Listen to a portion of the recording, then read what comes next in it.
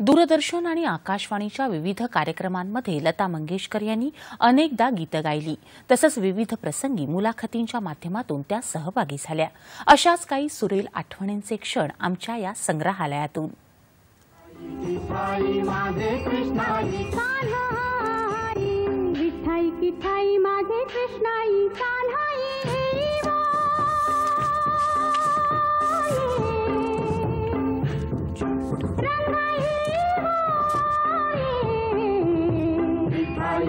विठाई माझे कृष्णाई कान्हाई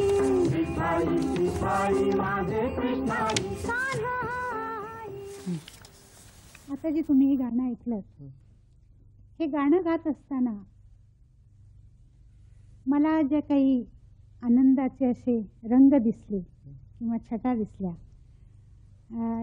ज्यामुळे माझा उत्साह वाढला आणि गाताना मला अतिशय समाधान वाटलं तर अशाच पद्धतीचे आणि काही ज्ञानदेवांची गाणी आहेत का ज्याच्यामध्ये आनंदाचे अशा छटा दिसतात? अरे अरे ज्ञाना झाला ती पावन अरे अरे ज्ञाना झाला ती पावन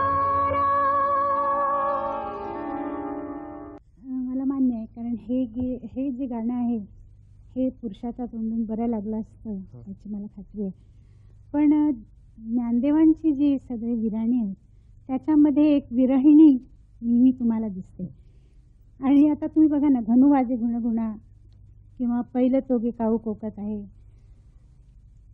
रंगा येऊ आणि आता मी जे ऐकवणार आहे तुम्हाला अवचिता परिमळू झुळकला आळू माळू मी म्हणे गोपाळू आलागे माई.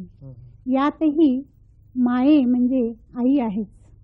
मला असं वाटतं की त्यांच्या गीतांमध्ये स्त्री- स्त्रीनी गायलेली गीतं जास्त आहेत असं वाटतं.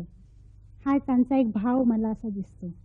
आणि मी तुम्हाला माझं एक सांगते की ज्ञानदेवांवर माझं इतकं प्रेम आहे की त्यांची गीतं भले ती पुरुषाची असोत किंवा बाईची दुसरी कोणी गाऊ नये असं मला वाटतं.